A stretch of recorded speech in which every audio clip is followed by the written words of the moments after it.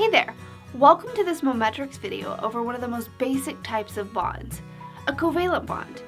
A covalent bond is a type of chemical bonding that refers to the sharing of valence electrons between atoms in an attempt to become stable. Unlike ionic bonds where atoms gain or lose electrons, covalent bonds involve the sharing of electrons. Here's another way to remember it. Co means share, and valent means valence, the sharing of valence electrons.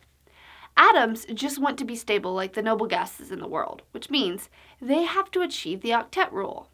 Octet rule meaning they need 8 valence electrons in their outer shell. Atoms that have a similar electronegativity tend to bond covalently. For instance, Chlorine atoms are highly electronegative with 7 electrons and just one away from achieving the octet rule. So when you get two chlorine atoms, they're going to say to one another, this for sure is not going to be an ionic relationship. You aren't getting any of these electrons. I'm only one away from having an octet. I'm not giving up nothing. So, in this case, the solution is to compromise and share because they are more stable together than apart. Because they each are sharing one electron, this is called a single bond. However, atoms can share multiple electrons, like oxygen. Oxygen atoms also have a high electronegativity, with two unpaired electrons. So, when an oxygen atom crosses the path of another oxygen atom, then they're going to double bond and thus satisfy the octet rule. Another helpful tool to know is that notation for single bond and double bond.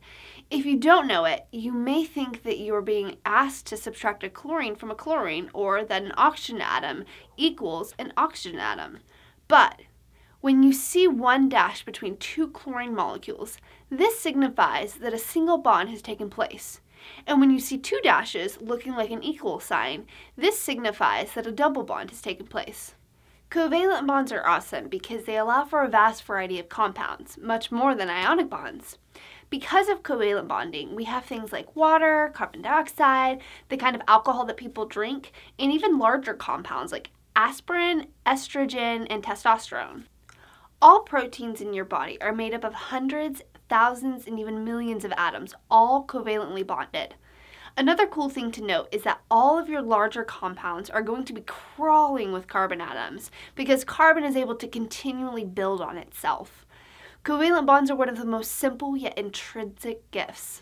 I hope this was helpful. For further help, be sure to subscribe to our channel right here. See you next time.